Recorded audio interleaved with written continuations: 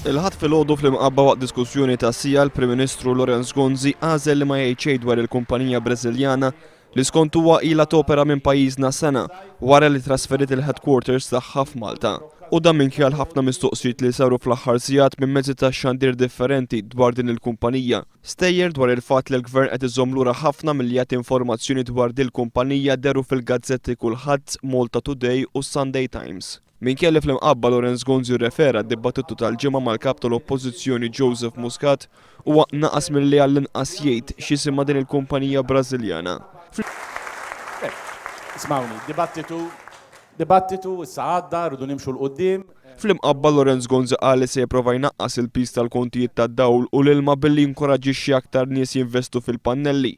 Tkellem ukoll dwar il-ħsarat fl-estensjoni tal-power station tal-BWSC, Minkejja li l-Enemalta qalet li l-ħsarat ġodda żvelati din il-ġimgħa mid-Deputat Laburista Joe Mizzi huma ħaġa normali, skont il-Prim Ministru fil-Power Station tal-BWSC kollox qed jaħdem ħlief għal turbina waħda biss. Ġara l-ħsara f'di d-disa' turbina, it-tmienja l-oħra kollha tajbin, Kollha jaħdmu, kollha nistgħu nixgħaluhom, kollha jist. Kollha! Kollha!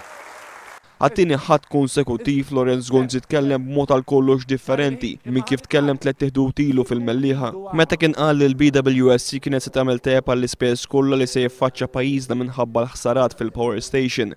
Fl-imqabba l-Prim Ministru qal li l-BWSC aċċettat biss li jsewwu t-turbina difettuża.